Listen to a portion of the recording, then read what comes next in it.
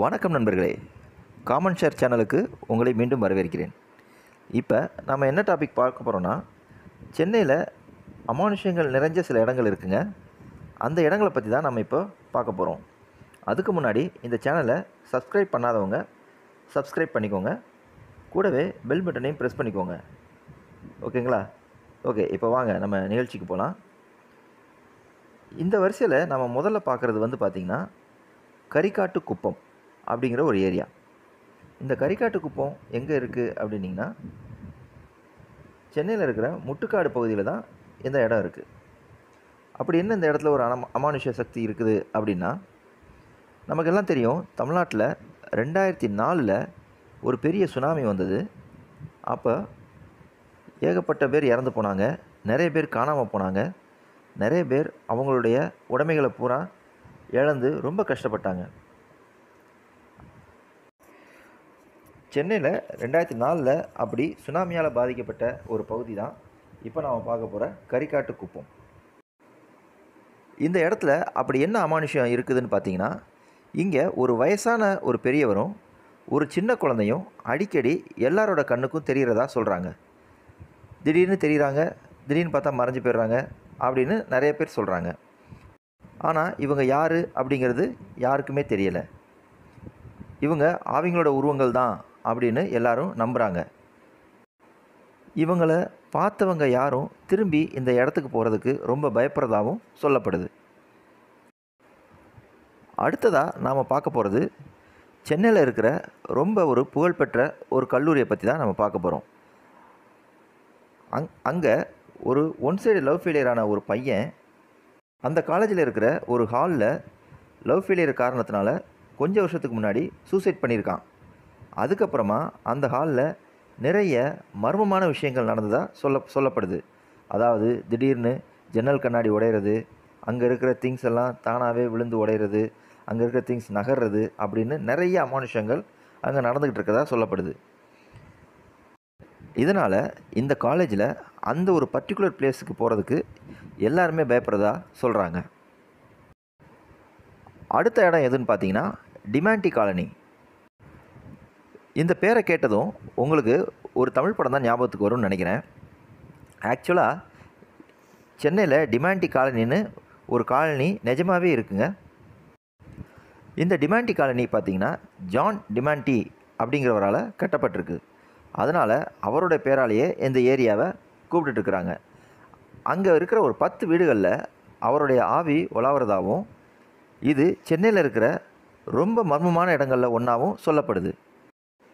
இந்த டிமாண்டி காலனியில் ஆவிகளும் பேய்களும் நிறைய இருக்குன்னு சொல்கிறாங்க இந்த ஏரியாவில் இருக்கிற சில வளர்ப்பு பிராணிகளும் சரி சில செக்யூரிட்டி கார்ட்ஸும் காணாமல் போனதாக சொல்கிறாங்க பட் அது எந்த அளவுக்கு உண்மைன்னு தெரியல.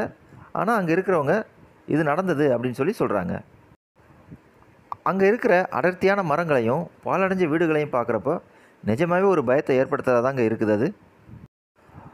அடுத்ததாக நம்ம பார்க்க போகிற இடம் blue cross road Chennai Besant Nagar ஏரியாவில் தான் இந்த ப்ளூ கிராஸ் ரோடு இருக்குது இது சூசைடுக்கு பேர் போன இடம்னு சொல்கிறாங்க இங்கே நிறைய சூசைட்ஸ் நடந்ததாக சொல்லப்படுது.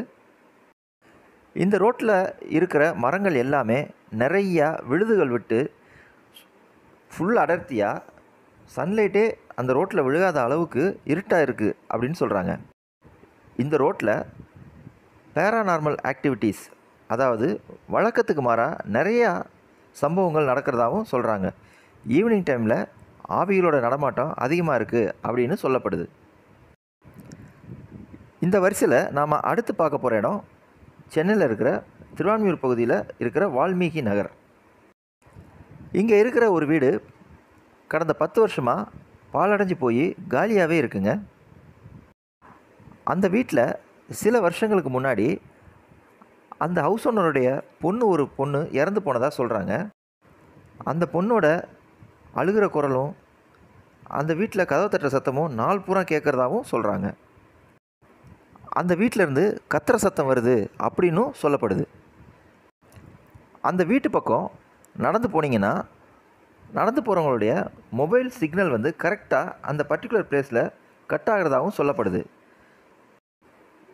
இந்த மர்மத்தை கண்டுபிடிக்க போனவங்களை அந்த ஆவி பிடிச்சிக்குது அப்படின்னு சொல்கிறாங்க இதுவும் எந்த அளவுக்கு உண்மைன்னு எனக்கு தெரியல. அடுத்ததாக நாம் பார்க்க போகிறது சென்னை ஓஎம்ஆரில் இருக்கிற ஒரு ஐடி கம்பெனி பற்றி தாங்க இந்த ஐடி கம்பெனி இங்கே கட்டுறதுக்கு முன்னாடி அங்கே ஒரு சுடுகாடு இருந்ததாகவும் அந்த இடத்த காலி பண்ணிட்டு தான் அதுக்கு மேலே இந்த ஐடி கம்பெனி கட்டினதாகவும் சொல்லப்படுது. இங்கே இருக்கிற செக்யூரிட்டி கார்ட்ஸ் எல்லாம் நைட் நேரத்தில் அங்கே பேய்களை பார்த்ததா சொல்கிறாங்க இதுவும் எந்த அளவுக்கு உண்மை அப்படிங்கிறது நமக்கு தெரியல. இந்த வரிசையில் நம்ம கடைசியாக பார்க்க போகிற இடம் பெசன்ட் அவென்யூ ரோடு